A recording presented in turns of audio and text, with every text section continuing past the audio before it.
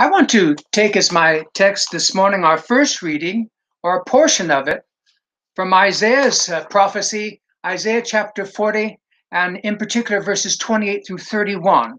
Isaiah chapter 40 and verses 28 through 31. If you have a Bible, I want to encourage you to turn there. Isaiah chapter 40 and beginning at verse 28. And I'd like to read that again just so it's fresh in our minds. The prophet says, Have you not known and have you not heard? The Lord is the everlasting God, the creator of the ends of the earth. He does not faint or grow weary. His understanding is unsearchable. He gives power to the faint, and to him who has no might, he increases strength. Even youths faint and become weary, and young men shall fall exhausted. But they who wait for the Lord shall renew their strength. They shall mount up with wings like eagles. They shall run and not be weary. They shall walk and not faint. This morning, I want to talk about being empowered by God, being empowered by God. I guess uh, most of us, if not all of us, would be happy to grant that God is powerful, even all powerful, or as is uh, often referred to in theology as God's omnipotence or his all powerfulness. W.H. Griffith Thomas, in his classic work, Principles of Theology, defines omnipotence as a power adequate to all possible requirements. But power adequate to all possible requirements, which is to say that God possesses all the power he needs to do everything that he's ever done, to do what he is doing now, uh, and to do what he has yet to do. And, and we might say, well, that's all very nice, uh, that God is all powerful and, you know, uh, that he's omnipotent, if you want to get fancy about it. But in all uh, honesty, we might ask, what does any of that really have to do with us personally? Well, what makes this truth about God personal to us, or that it could be personal to us, is that God doesn't keep his power just for himself. Indeed, God shares this power, even with us, uh, if we should ever want it. In context, the prophet Isaiah is writing to a people that are struggling. They, they feel that, uh, that uh, as though God has uh, abandoned them, uh, even that uh, God perhaps is even ignorant of their circumstance. Perhaps you've felt that way yourself before in the midst of your troubles and they're wondering that, that if God can actually help, even if He is aware of their troubles. And this is what prompts uh, the prophet to say what he says in verse 28. In fact, notice again verse 28. He says he asks this rhetorical question: Have you not have you not known, uh, and have you not heard that the Lord is the everlasting God, the Creator of the ends of the earth? He does not faint or grow weary. And his understanding, his knowledge, is unsearchable. Isaiah is saying, What? Don't you know this about God? That you've created this mindset? That you think God doesn't know about your circumstance? That you think that perhaps you are abandoned or wondering whether He can help? H- haven't you ever heard that God can do all of these things? Of course, He's aware of your circumstance. And of course, He can help. Indeed, Isaiah says that God is all powerful. And then he enumerates the ways in which He is all powerful. Uh, first, that, that God is all powerful in who He is. Indeed, Isaiah says that Yahweh, the Lord, uh, is the everlasting God. That is to say, that He's eternal uh, in his own person uh, and according to the nature of his own being. He's eternal. That is to say, that he has always existed without beginning. He exists now, and he shall always exist without any end. uh, Eugene Peterson in the message put it this way God doesn't just come and go, He's eternal. He always has been, He is, and He always shall be. God is speaking in the book of Revelation, chapter 1 and verse 8, says this I'm the Alpha and the Omega. Uh, they, uh, this is uh, to, to help help us understand. Alpha is the first letter in the uh, Greek uh, alphabet, and Omega is the last. It's another way of God saying, "I'm the beginning and the end of all things." Uh, and then he goes on and says, "Who is, and who was, and who is to come." I've I've always existed. I exist now, and I always shall exist. I'm the Almighty. And so God doesn't live and die the way in which we do. In fact, if you think about it, we're very passive in our conception and uh, very we are completely passive in our conception and our birth. We don't choose that, it just happens to us. And we're equally out of control at our death. Indeed, I suspect that if we had control of our death, we wouldn't people wouldn't die. But it comes and there's nothing we can do about it. But God isn't anything like that. God has existence and being in himself and always has and does now and always shall be an expression of his omnipotence. And then Isaiah says that God is inexhaustible. he never tires out. Or as Peterson puts it in the message, uh, uh, God doesn't get tired and he doesn't have to pause to catch his breath. And so God is all powerful in who he is. But then, not only that, God is also all powerful in what he does. Indeed, Isaiah says that God is the creator of the ends of the earth. Uh, we we admire the earth, uh, the, the, uh, an ocean, a sunset, uh, the, the, the, the mountains, and all of that, the beauty of the earth. But God is the one who created it and all of it. Uh, in, in fact, the earth in its entirety.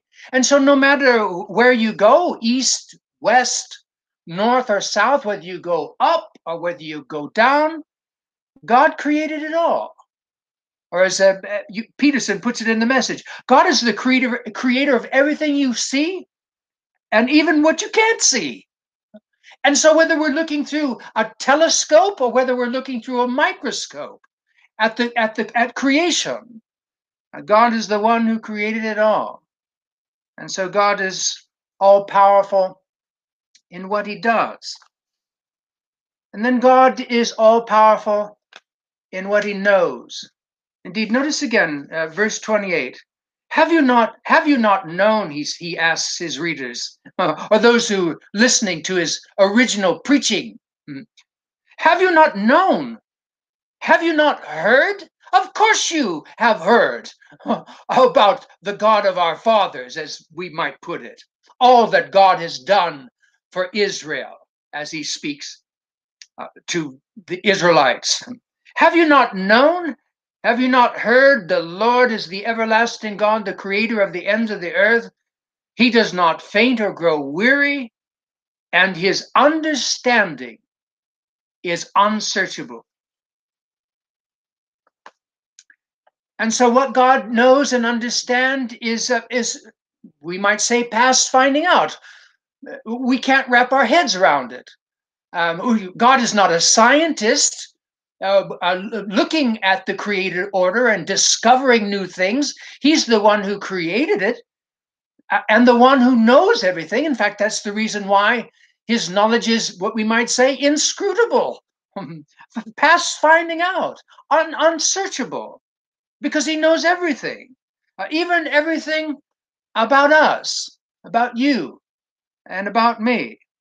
Even uh, uh, the thoughts and intentions of our heart is something that God is intimately familiar with.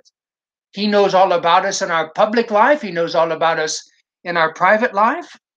Again, Peterson in the message says God knows everything inside and out. There is nothing He doesn't know. And so when we're wondering, well, does God know how I'm suffering in the midst of my troubles? Well, of course he knows. And that's what Isaiah, what Isaiah is saying to his audience. and what God is saying to us as we've become the audience. God knows everything inside and out. Indeed, by his power, he knows everything about our successes, he knows everything about our failures, he knows everything by his power about our, our about our joys and everything about our sorrows. And the extraordinary thing is that he cares.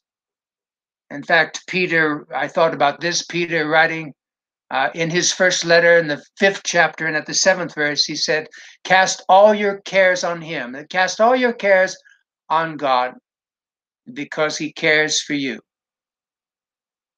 And so God is all powerful. But not only that, God is God is not just all powerful. God shares his power, which is an extraordinary thing. In fact, who, who what other power would he share but his own if he was going to share power? Uh, notice again, have you not heard? Have you not known? Uh, the Lord is the everlasting God, the creator of the ends of the earth. He doesn't faint or grow weary like we do. His understanding is unsearchable. He gives power to the faint. There it is. He gives power. And to him who has no might, he increases strength. Even youths shall faint and be weary in their physical being. And young men shall fall exhausted, even though they thought perhaps they never would. But they who wait for the Lord shall renew their strength. They shall mount up with wings like eagles. They shall run and not be weary. They shall walk and not faint. And so Isaiah says that God shares his power. He gives power. He gives strength. And with whom does he share it? Well, he shares it with those who find themselves in need of it. He shares power with those who are worn out physically and and he shares it with those who, who have uh, are overcome emotionally and many times isn't it true uh, that uh, that those things are so very much connected? When i'm worn out emotionally my my my my my physical being is is affected and and when i'm when i'm sick or i'm worn out physically my my emotional state is affected I love what Anne Lamott wrote in, in her book, Plan B Further Thoughts on Faith. She, she, she said this She said, Everyone has been having a hard time with life this year. Well, not all of it, just the waking hours. just the waking hours. And perhaps uh, that might be a little humorous to you too, because you know what that means. Uh, to, to having a hard time with life just when you're awake and when you're aware of what's going on in your life. And so God shares his power with those who are worn out physically, and he shares his power with those who are overcome emotionally. And he shares uh, his, his power with those who perhaps thought they wouldn't ever need it like the young. I, I, that was what I was thinking of when I was looking at this verse 30. Even youths shall faint and be weary, and young men shall fall exhausted, even though they th- thought that they would never get exhausted. And sometimes that's the case. Uh, when we become overwhelmed, it comes to us maybe as a bit of a surprise. But he shares his power when we recognize that and find ourselves. I like what somebody said that God's office is at the end of your rope. And that's what he's talking about here being at the end of your rope. God shares his power with those perhaps who thought maybe that they wouldn't ever need God's help, and with those who put their hope and their trust in him. Indeed, God doesn't give his strength to those who don't want it, or to those who don't value it, or don't yet think or know, indeed, that they need it. Rather, God gives his power to those who wait on him, to those who say, Lord, uh, my life is in your hands. I'm, I'm waiting on you. You know, you know my circumstance, and I'm waiting on your power, and I'm waiting on your strength. I love what the Cuban pastor said in Cuba, of course, a restricted nation where it's very difficult to be a Christian openly and share your faith and share the word. But here, this Cuban pastor, he said, Everything is difficult here, but nothing is impossible because God reigns. Everything is difficult here, but nothing is impossible because God reigns. That sounds to me like a man empowered by the God who reigns. And so God gives his power to those who wait on him, to those who submit and recognize his lordship, knowing that he's God and that they're not, who put their trust in him, who put their hope in him. And to these, Isaiah says that God promises strength. And then and and and then it's illustrated in three different ways. First, strength like like like the flight of the eagle. They shall fly like eagles, the prophet says. Um, of course, it's a metaphor for extraordinary power. To the ancients, the eagle was a uh, what, there was no bird more powerful. I'm not exactly sure if that's not even true now. If, there is a bird more powerful, in fact, you ought to go uh, on YouTube and and type in uh, eagle cam, uh, and they've actually put cameras on the backs of eagles so that they could see where the eagles fly. The, the eagles fly over mountains, extraordinary power. And God promises to those who wait on Him, who trust in Him, who hope in Him in the midst of their troubles, that they will mount up with the strength of eagles and that they'll run and not tire and that they'll walk and not faint. Now it seems sort of if you look at that, sort of a, a dis, in descending order from going from stronger uh, to weaker, flying, running, walking. But walking is a, is a metaphor signifying perseverance. You know, you you don't run all the time, but walking is something that is ongoing. In fact, life is often uh, described in the Bible as a walk the Christian walk, or walk in the Spirit, which is another way of saying live in the Spirit. And so to walk and not faint is God saying, I will give you the strength to persevere, to keep on moving forward, regardless of the circumstance in which you find yourself. I don't know who it was who said it, but I sure like it. Somebody said, Don't tell God how big your problems are, but tell your problems how big your God is.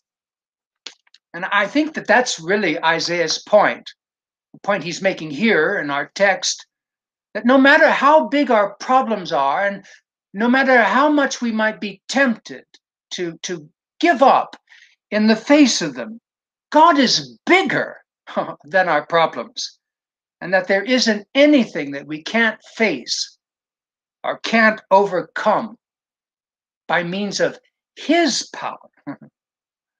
Amen. Amen. Being empowered by God. Let us pray. I don't know, Lord. I, I suppose it has something to do with how Isaiah starts this passage. Uh, uh, don't you haven't you heard and and don't you know? I think we forget maybe the things that we do know. Uh, maybe because uh, we're so startled and overwhelmed by the things uh, that trouble us and uh, that become sources of anxiety to us. Um, we, we forget the truth. And so we become bound and, and overborne by our troubles. But you don't want us to be overborne by our troubles.